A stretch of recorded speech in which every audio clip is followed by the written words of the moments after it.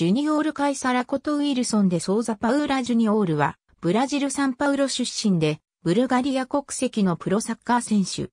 スユペルリグ・イスタンブール・バシャクシセヒル FK 所属。ポジションは、ディフェンダー。EC サントアンドレで、プロキャリアをスタート。2009年、CS、アラゴアーノにレンタル移籍。2010年、アメリカ FC にレンタル移籍。2010年夏、ポルトガルのジルビセンテ FC にレンタル移籍2シーズンプレーした。その間、プリメーラリーガ昇格を経験している。2012年6月、PFC ルドゴレツラズグラドに移籍。契約は3年で、背番号は80に決定した。7月のブルガリアスーパーカップ PFC ロコモティフ、プロブティフ戦で初出場、初ゴールを記録しタイトル獲得に貢献。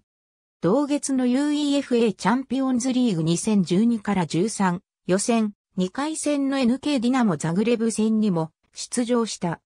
8月 PFC チェルノモレバルナ戦でリーグ初出場。右サイドバックのレギュラーを獲得し、リーグ優勝に貢献した。